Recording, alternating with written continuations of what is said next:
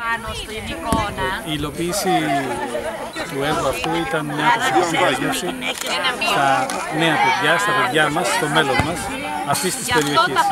Είχα δηλώσει εξ αρχής ότι κάθε τέτοιοι χώροι άθλησης προσελκύουν τα παιδιά μας και τα αποτραβούν από άλλους χώρους με ιδιαίτερους πειρασμούς, με πολύ κακό Μια τέτοια λοιπόν κοιτίδα άθλησης, πηγή υγείας, πηγή πολιτισμού είναι και αυτός ο χώρος που εγκαινιάσαμε σήμερα.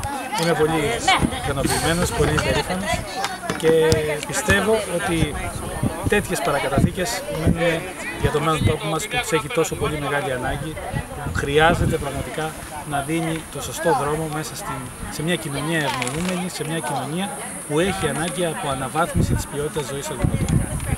Το ότι είναι η τελευταία ημέρα των καθηκόντων σας ως Δήμαρχος, έχει κάποιο συμβολισμό για τα εγγένεια αυτά του συγκεκριμένου έργου; Μπορεί ακόμα και αύριο μπορεί να γίνονταν τα εγγένεια, που είναι όπως ξέρετε και η μέρα απομοσία της Νέας Διοίκησης.